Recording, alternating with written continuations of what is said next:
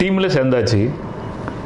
மக்கள் வந்துட்டு எங்கே போயிட்டு எப்படி கொடுக்குறது எப்படி சொல்கிறது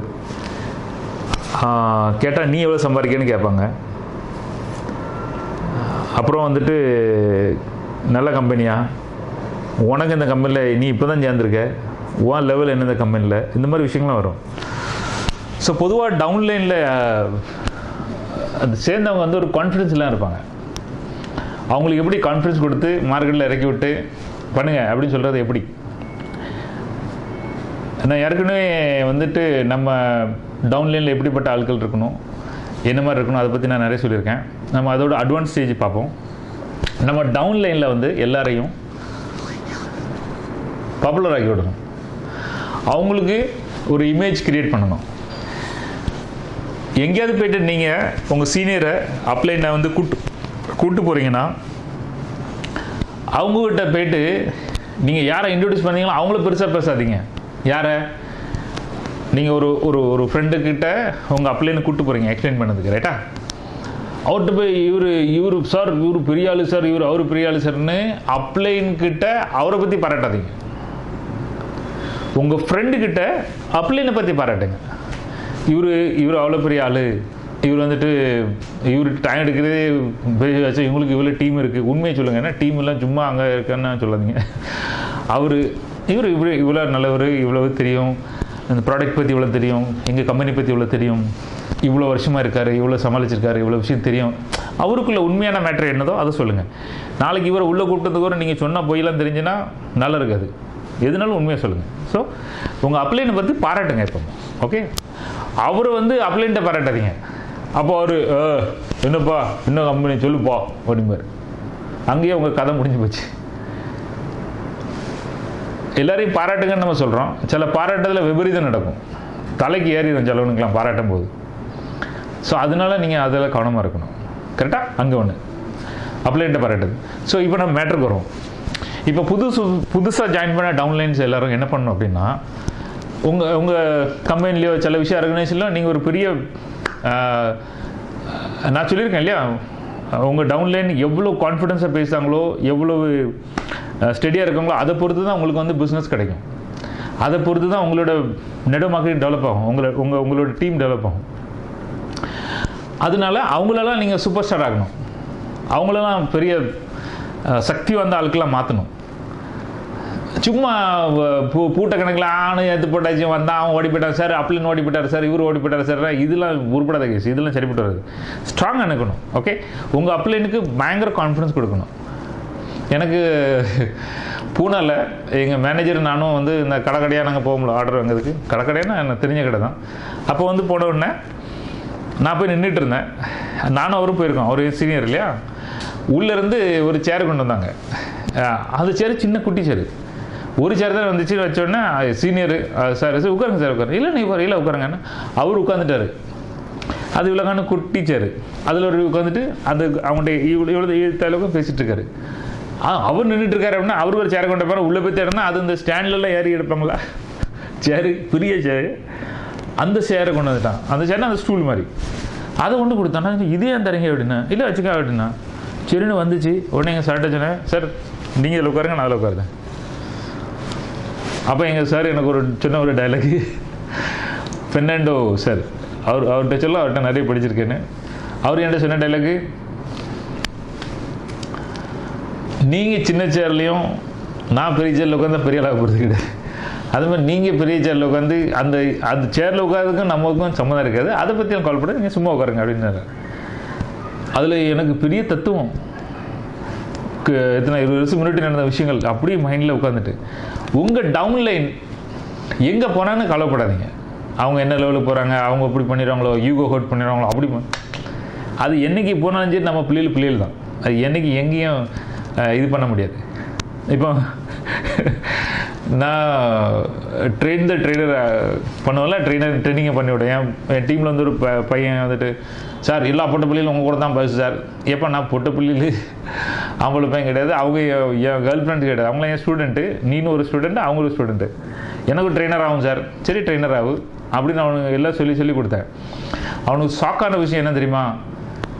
அவன் ஏதாவது நான் மறப்பேன்னு நினச்சிட்டு நினைப்பாங்க. ஆனால் நான் எதுவுமே மறைக்க மாட்டேன். உள்ளதை உள்ளபடி கெட்டது நல்லது ட்ரிக்கு எல்லாம் சொல்லிக் கொடுப்பேன்.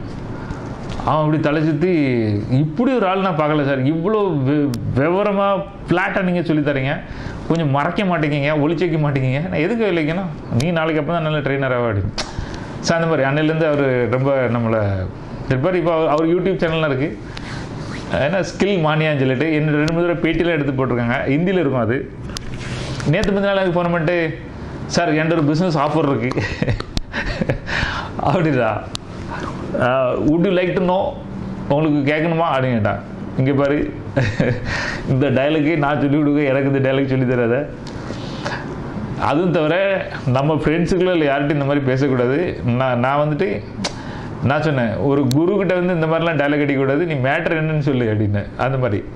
நம்மளோட ஸ்டூடெண்ட் வந்து எங்கே தான் பறந்தாலும் சரி அவங்க ஸ்டூடெண்ட் தான்.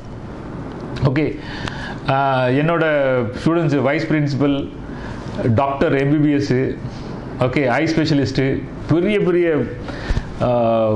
பில்டிங்ஸ்லாம் இருக்குது அவங்க த்ரீ ஃப்ளோர் ஃபோர் ஃப்ளோர் சொந்த ஹாஸ்பிட்டல் இருக்குது முந்நூறு பேர் நானூறு பேர் லைனில் இருப்பாங்க. அவரு அவர்கிட்ட அப்பாயின்மெண்ட் வாங்கிறதுக்கு அவர் பார்க்காது. அவர் தானே சுரேஷ் சார் ஆ சார் எனக்கு எனக்கே ஒரு மாதிரி இருக்கும். என்னதான் டாக்டர் தான் சரி அவருக்கு ஒரு விஷயம் நான் சொல்லி கொடுத்துருக்கேன். ஓகே அவருக்கு நான் ஒரு மென்டார் குரு. என்னைக்கு நாள் அவங்க பறக்கட்டும். அன்னை அவ அவர் பெரிய கிளப் மெம்பரு அவருக்கு மூணு ஸ்கூல் இருக்குது எத்தனாயிரம் பேர் அவருக்கு பழக்கம். ஒரு சொசைட்டியில் ஒரு பெரிய ஆள் அவர். அவரும் என்னை வந்து அப்படி பேசும்போது எனக்கு என்றைக்குமே ஒரு ஸ்டூடெண்ட் தான். ஓகே?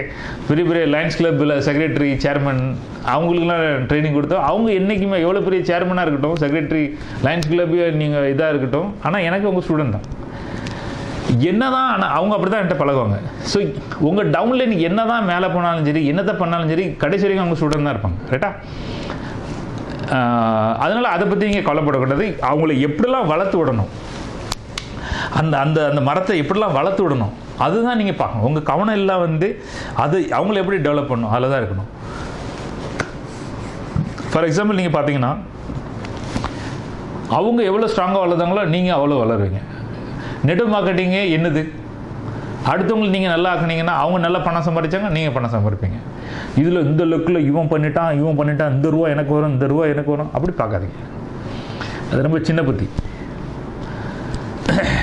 என் டீம்லலாம் என் டீமில் மக்கள் கேள்வி கேட்கறத விட என் ஃப்ரெண்டோட டீமில் உள்ளவங்க கேள்வி கேட்க தான் ரொம்ப ஜாஸ்தி. அவனுக்கு என்ன ஆச்சரியம் இருக்குன்னா என் ஃப்ரெண்டுக்கு சரியாக ஒன்றும் தெரிய தெரியாது. எனக்கு ஃபோன் பண்ணும். அவனும் சந்தேகமாக இருக்கும் சொல்லுவாரே சொல்ல மாட்டேறேன். அது விவரமாக நான் சொல்லிக் கொடுப்பேன். அவரை வச்சு எனக்கு ஒரு ரூபா காசு வராது.